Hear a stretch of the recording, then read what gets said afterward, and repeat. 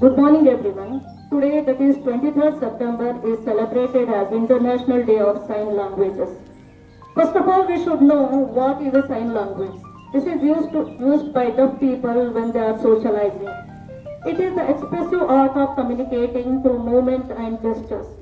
A language that can be felt and seen by all.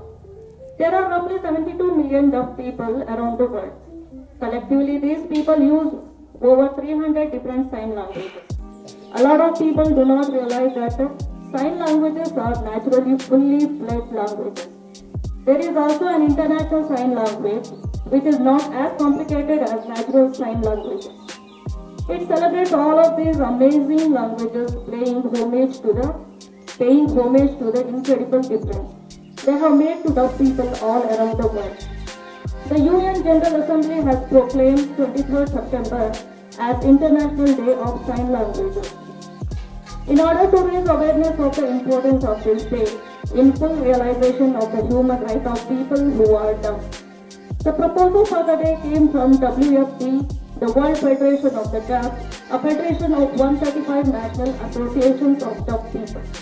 The World Federation of the Deaf invites all public places, public landmarks and official buildings. President houses, city halls and others to be spotlighted in blue light on this day.